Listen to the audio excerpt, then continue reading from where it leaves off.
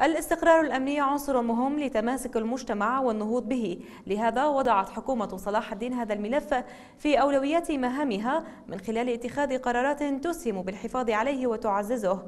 الزميل أحمد صلاح الدين والتقرير التالي. المجتمع المتماسك والذي يسوده الأمن هو واحد من أسمى المجتمعات في العالم حيث تتم من خلاله حماية الشعب ومواجهة مخاطر الحياة. وتعزيز الثقة المتبادلة بين مؤسسات الدولة والعمل من أجل مستقبل أفضل.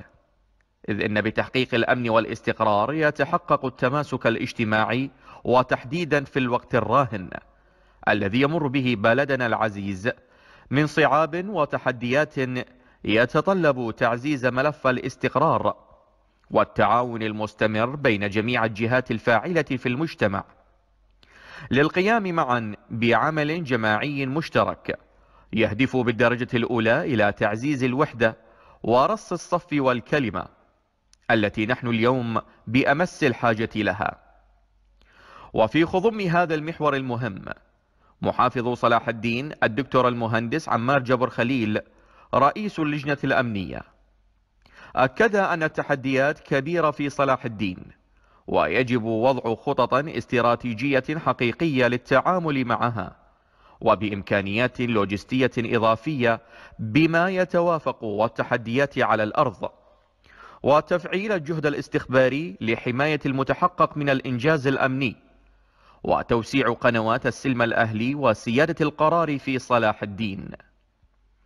مشددا على أن مصلحة الوحدة الوطنية هي من أولوياتنا.